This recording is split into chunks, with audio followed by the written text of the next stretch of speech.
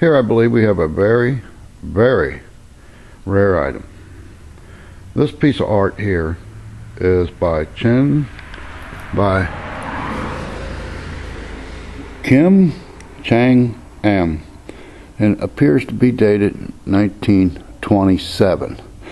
This is what we've referred to as a fantasy piece, and we've researched him a little bit, and most of his work is of lions and animals and that kind of stuff.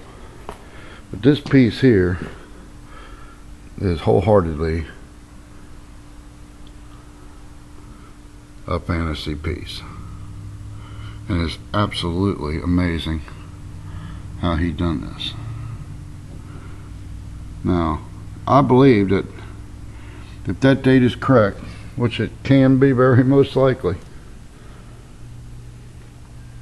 that this piece is an early work of his. It may be the only early work known.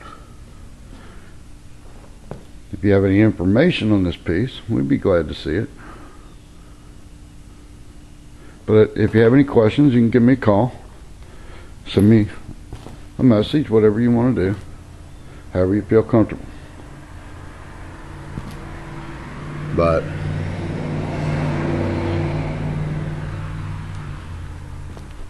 it is from Korea.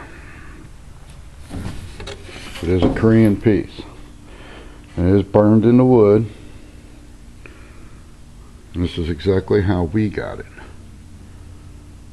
I have many pieces of artwork, many very rare. So I hope you like it.